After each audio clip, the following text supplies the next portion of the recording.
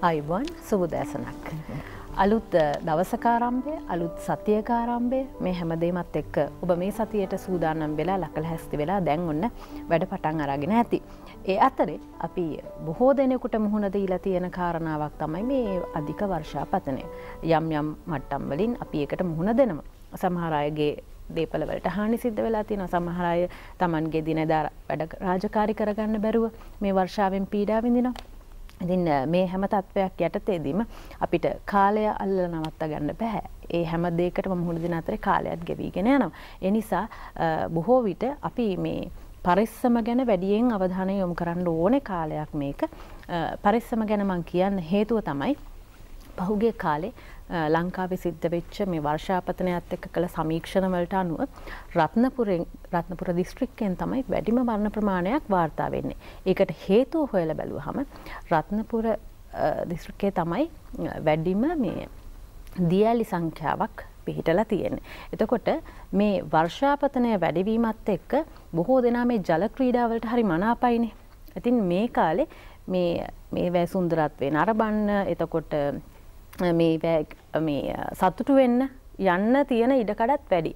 සමහර ආයතන තියෙන වාර්ෂික සංචාර එහෙම නැත්තම් මේ උත්සව ඒ ආශ්‍රිතව හදාගන්නවා. ඉතින් මෙන්න මේ වගේ දේවල් වලදී හරීම සැලකිලිමත් වෙන්න ඕනේ.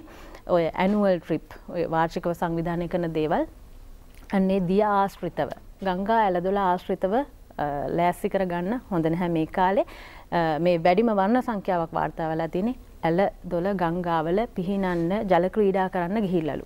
ඉතින් ඒ නිසා ඔබ විනෝද වෙන්න ඕනේ හැබැයි විනෝදය පරිස්සම ඊට කලින් සිහිපත් කරගෙන විනෝදවීම තමා වඩා වටින් එහෙමුණොත් අපි හැමෝටම විනෝද වෙන්නත් පුළුවන් ජීවිත පරිස්සම් කරගන්නත් පුළුවන් කනගාටුවක් නැතුව ජීවත් වෙන්නත් පුළුවන්. අන්න ඒකත් මතක තියාගන්න. මොකද මේ අධික වර්ෂාපතනය තියෙන කාලයක් නිසා. හොඳයි.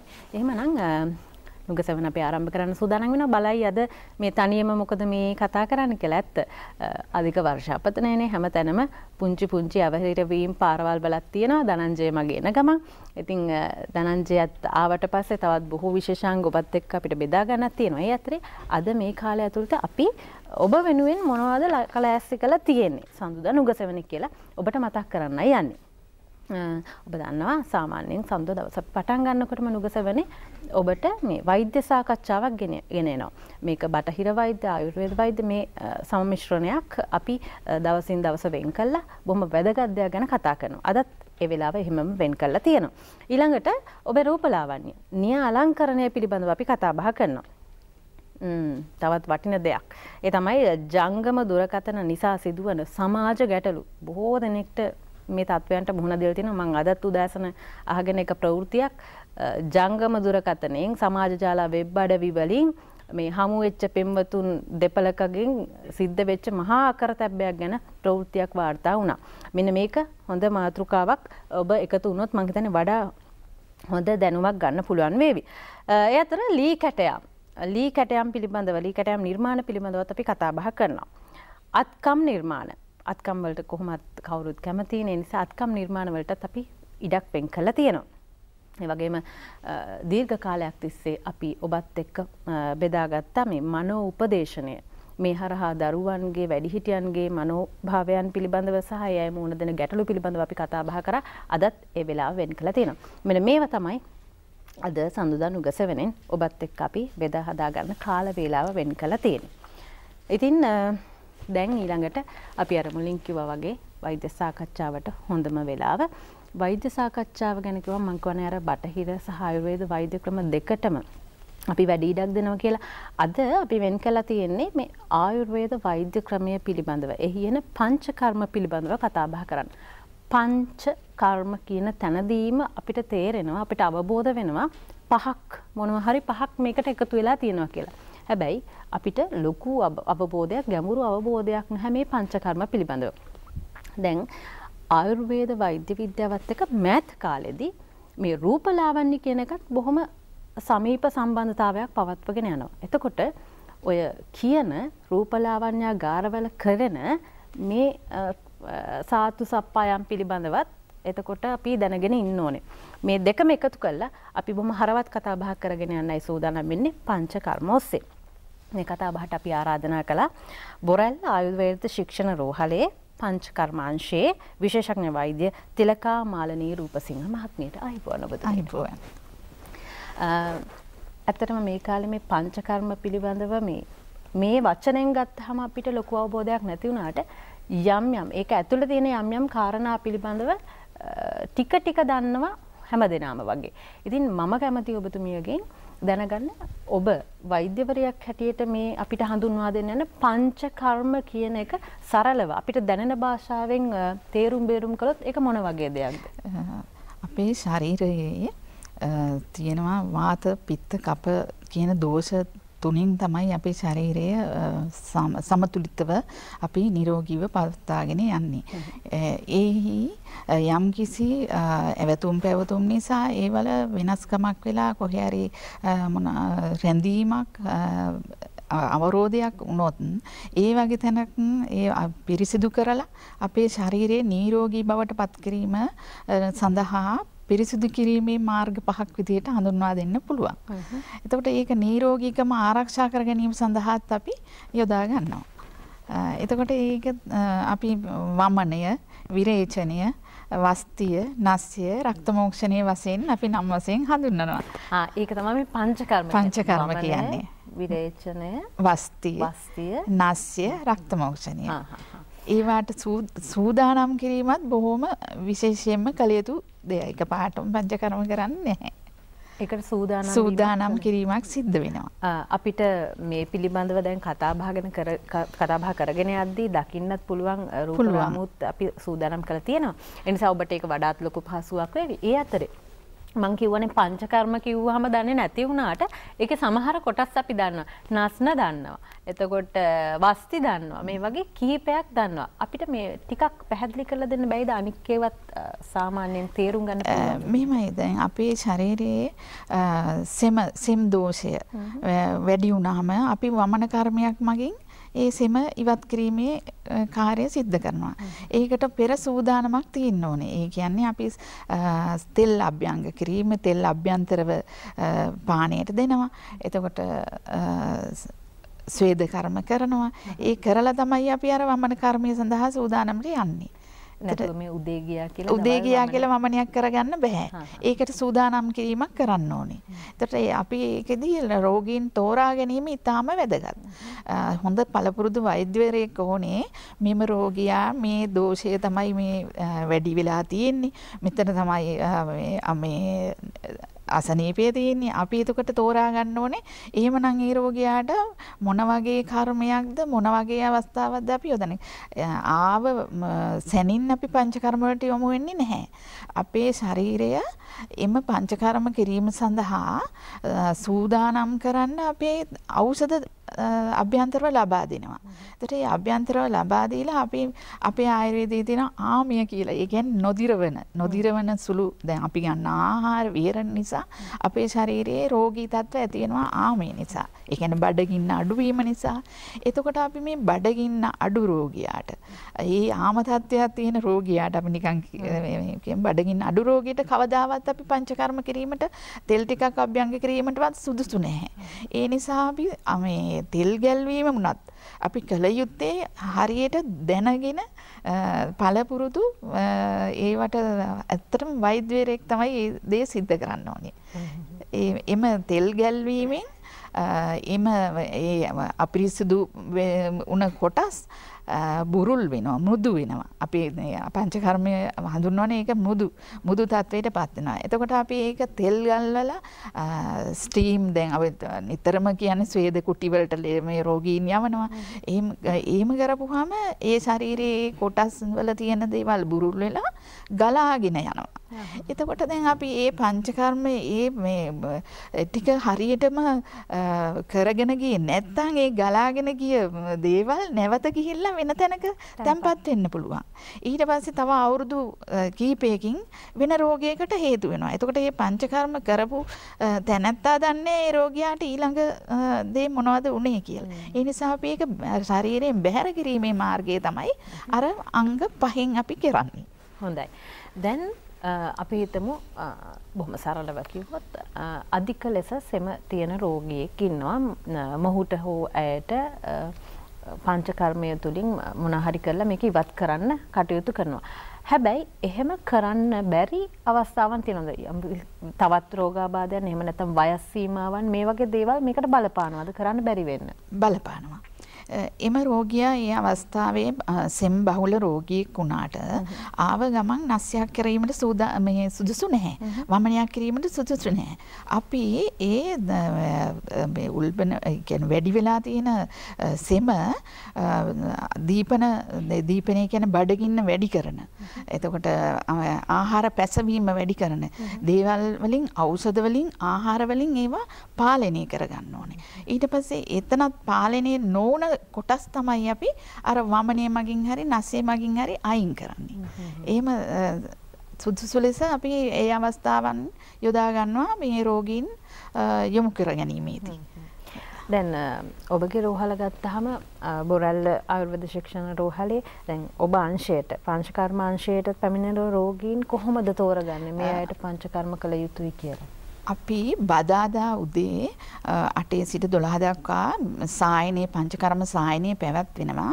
එම එතෙන්ට ආපු රෝගීන්ව අපි තෝරා ගන්නවා ඉස්සල්ලාම අපි පළවෙනි දවසේම ඇතුළත් කරගන්නේ නැහැ පංචකර්ම යුනිටට. අපි සතියක් හෝ දෙකක් බාහිර ප්‍රතිකාර අපි යොදනවා.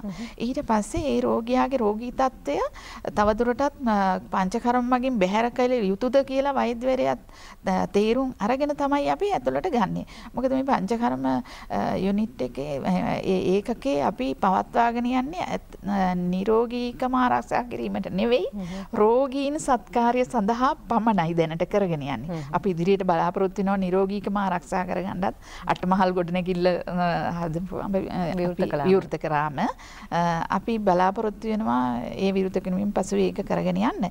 දැනට අපි කරගෙන යන්නේ රෝගී සත්කාරය පමණයි. එතනදී ඇතුළත් කළගත් රෝගීන් වයස් සීමාව අපි ප්‍රධාන වශයෙන්ම බලනවා. එම වයස් සීමාව තුල අවුරුදු 18ට 12ට වැඩි 70ට අඩු අය අපි ඇතුළත් කරගන්නවා. ඇතුළත් කරගෙන මුල් සති සතිය හෝ සති දෙක අපි මේ සූදානම් කිරීමක් කරනවා. ඊට පස්සේ පංචකර්ම සඳහා රෝගියා අණුව රෝගය සහ රෝගියා අණුව තමයි අපි තීරණය කරන්නේ.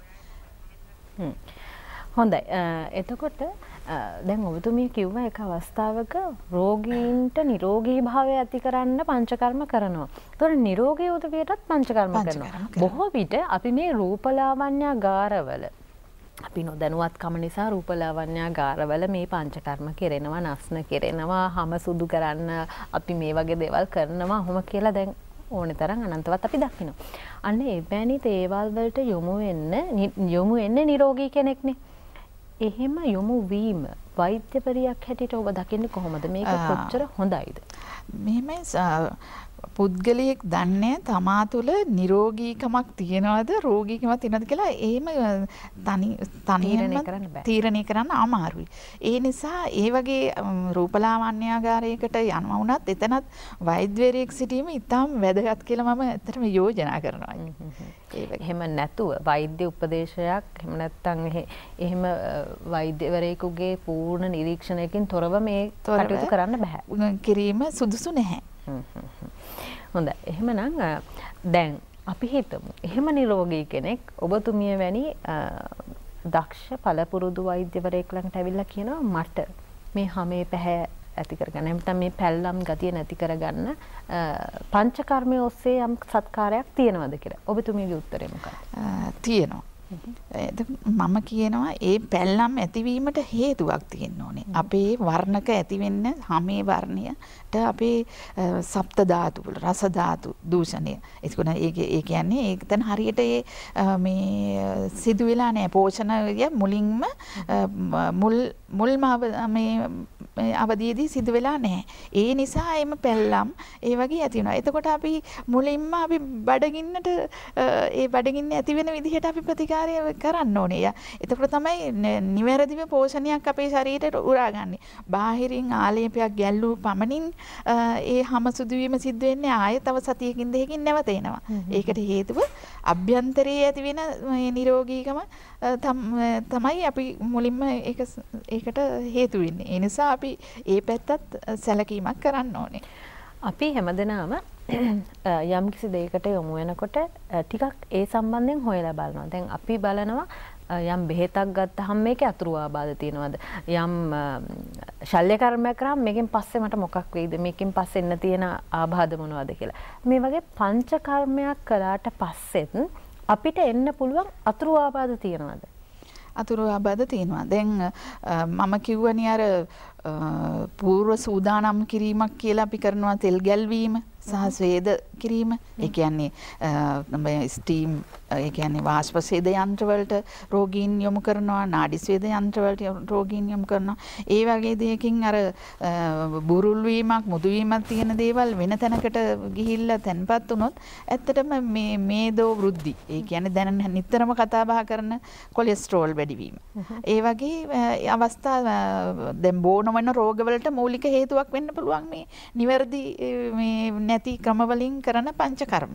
ඉතින් ඒ වගේ තියෙනවා මේ අපේ හොඳ ලස්සනට පංචකර්ම කරගෙන යනවා අපේ රෝහලේ ක්‍රම වර්ග ක්‍රම තියෙනවා මම රූපරාමෝ තියෙනවා ඒ මේ සියලුම සත්කාරයන් ඔබට නොමිලේ තමයි ලැබෙන්නේ. නොමිලේ ලැබෙන්නේ. ඔව් ඉතින් ඒ පිළිබඳවත් ඔබ දැනුවත් වෙලා ඉන්න ඕනේ. මොකද බොහෝ දෙනාගේ දැන් ප්‍රවණතාවයක් තියෙනවා ආයුර්වේද වෛද්‍ය ක්‍රමයන් වලට යොමු වෙන්න. ඉතින් එහෙම වුණාම හරි ලොකු සහනයක් නේද? නොමිලේ මෙවැනි සත්කාරයන් ලබා ගන්න පුළුවන් වෙනවා කියන්නේ. කවදද කිව්වේ පංචකර්ම බදාදා උදේ 8 සිට 12 දක්වා පංචකර්ම සායනයේ පැවැත්වෙනවා. හොඳයි. දැන් පංචකර්ම කරන්නත් මොනවා හරි ක්‍රමවේදයක් තියෙන්න ඕනනේ. අනේ ක්‍රමවේදය අපිට තේරුම් ගන්න පුළුවන් ක්‍රමයක් තියෙනවද? ඔව් මම පැහැදිලි කරන්නම්. පංචකර්මයට සූදානම් කිරීමට කියනවා අපි පූර්ව කර්ම කියලා. එතකොට පූර්ව කර්ම කියන්නේ තෙල් ස්නේහ ස්වේද. ඒ කියන්නේ තෙල් ගැල්වීම සහ අභ්‍යන්තරව තෙල් ලබා දීම. ඒ කොටස් දෙකම අපි කරගෙන යනවා. අපි රෝහලේ තෙල් ගැල්වීම අපේ සම්බාහන අංශයක් සම්බාහනය කිරීම තෙල් ගැලීම ප්‍රතිකාර මධ්‍යස්ථානයක් තියෙනවා. ඒකෙදී අපේ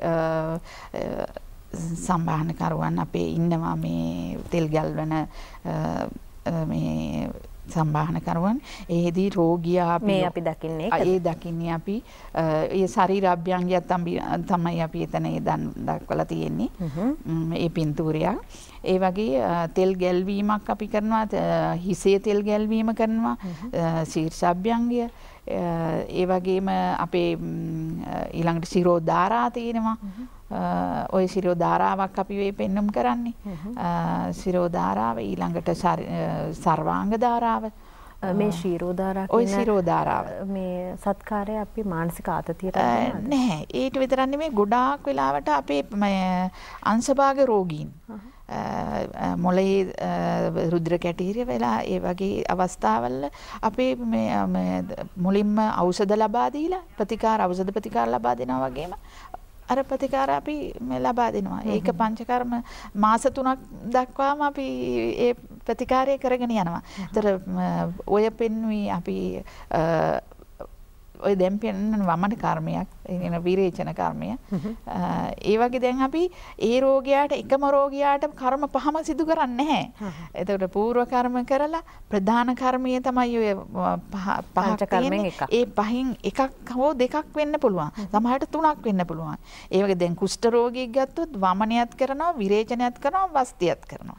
එතකොට අපි වමනය සඳහා මේ තෙල් ගැල්වීම සහ තෙල් අභ්‍යන්තරව ලබා දීම දෙකම කරනවා. ඊට පස්සේ අපි ඒ රෝගියාව ඒ සති ගාණක් අපි රෝගියාව සූදානම් කරනවා. සූදානම් කළා තමයි අර ඉස්සලා පෙන්නු රූපරාමුවේ වමන කර්මය සිද්ධ කරන්නේ. ඒක ලොකු ප්‍රතිකාරයක්. ඊට පස්සේ පශ්චාත් කර්මය තියෙනවා. පශ්චාත් කර්මය කියන්නේ ඒ රෝගියාට ඖෂධ වගේම ආහාර ලබා දීමත් ප්‍රධානම දෙයක්. සියලුම රෝගීන්ට එකම ආහාරය ලබා දෙන්නේ. එම රෝගයට සහ කර්මයට අදාළව අපි ආහාර ලබා දෙනවා. මෙන්න මේ විදිහට තමයි මේ සූදානම් කරන්නේ. දැන් පංචකර්මයක් කළාට පස්සේ අපි කොහොමද පරිස්සම් වෙන්නේ? ඒකෙදී පංචකර්ම කරන රෝගියා අනිවාර්යයෙන්ම නිවසින් පිට සිටිය යුතුයි. ඒකෙදි පුරාණ ශිෂ්‍යවරු පවා කියලා තියෙනවා පංචකර්ම රෝගියා මානසික සහ ශාරීරික නිදහස තියෙන්න ඕනේ. ඒ වගේම සුළං නොවදින්න. නිදි මරන්නේ නැතුව. ඒ වගේ ගොඩක් ආහාර විහරණ වලින් රෝගියා ආරක්ෂා කළ යුතුයි. එතකොට සාමාන්‍යයෙන් විවාහ වුණ පුද්ගලයෙක් වුණත් තනිවම තිබිය යුතුයි. අනිවාර්යයෙන්ම ශාරීරික සහ මානසික සහනය අත්‍යවශ්‍යයි. එහෙම රෝගියෙකුට තමයි ඊටාම අවුරුදු 70 68ක රෝගියෙක් අපි පංචකර්මය සඳහා යොදාගත්තා නම් අවුරුදු 40ක වගේ තත්ත්වයකට ඇත්තටම ඒක හොඳම නිරෝගී භාවයකට පත් වෙලා තමයි රෝගියා එළියට යවෙන්නේ. මේ ඒ කියන්නේ මේ පංචකර්ම ප්‍රතිකාර ඔස්සේ තිරිහන් කිරීම නැත්තම් මේ රෙජුනේෂන් කියන එකත් කරන එක කරනවා. ඒ අපේ පශ්චාත් කර්මයේට ඊට පස්සේ රසායන කර්ම. රසායන වර්ජීකරණ ඖෂධ අපි ලබා දෙනවා. එතකොට තමයි රෝගියාගේ ස්නායුවලට ඒ පෝෂණය සියලු දේ ලැබෙන්නේ. ආයුර්වේද වෛද්‍යවරයෙක් විදිහට විශේෂඥ වෛද්‍යවරයෙක් විදිහට ඔබ මේ අපි දිහා බලාගෙන අපේ දිහා අහගෙන ඉන්න උදවීර දෙන්න තියෙන පණිවිඩය මොකද්ද මේ පංචකර්ම ඇසුරෙන්? සුදුසුකම් ලත් වෛද්‍යවරයෙක් සිටින තැනකින් පංචකර්ම කිරීමට තමයි මම උපදෙස් දෙන්නේ. දැන් සුදුසුකම්ලත් වෛද්‍යවරු දැන් බොහෝ ලෙස අපේ ශාස්ත්‍රයේ ඉන්නවා. එහෙම එහෙවන් කෙනෙක් ළඟට යන්න කියලා තමයි මොකද දැන් සමාජයේ තියෙන දේවල් හරි දේ කරන එක තමයි ඒකට යොමු කරන එක තමයි අපේ යුතුයකම. ඒ නිසා මම යෝජනා කරන්නේ මේ විදිහට රෝග මේ ජනතාව දැනුවත් කිරීම තමයි අපේ යුතුයකම. ඔව් ආසියානු රටවල විතරක් නෙමෙයි එහාට යුරෝපීය රටවල පවා දැන් මේ දේශීය ආයුර්වේදයට ලොකු තැනක් ලැබිලා තියෙන කාලයක්. ඒ අය හොයාගෙන එනවා මේ සත්කාරය. ඉතින් එහෙම කාලෙක අපිට ලොකු සම්පතක් මේ විශේෂයෙන් බොරැල ආයුර්වේද ශික්ෂණ රෝහල වගේ ආයතන තැන් ඉතින් නොමිලේ සත්කාරයන් ලබා ගන්න පුළුවන්. අපි ඔබටත් ආරාධනා කරනවා යම් කිසි රෝගාබාධයකින් පීඩා විඳිමින් ඉන්නේ නැතුව ඔබ කැමති නම් ආයුර්වේදයේ ඔස්සේ සහනයක් ලබා ගන්න මෙන්න හොඳ අවස්ථාවක් එක විශේෂයෙන් ස්තුතිවන්ත වෙන ඔබතුමීට බොරල්ල ආයුර්වේද ශික්ෂණ රෝහලේ පංචකර්මංශයේ විශේෂඥ වෛද්‍ය තිලකා මාලි රූපසිංහ මහත්මයා අපිට එකතුනේ ඔබතුමියටත් නිරෝගී සම්පන්නිය ලැබෙන්න කියලා ප්‍රාර්ථනා කරනවා. ආයිබෝවන්. අපි සම්මතතාවය ලබා දෙනවා ප්‍රධාන පාලක මැදිරියට.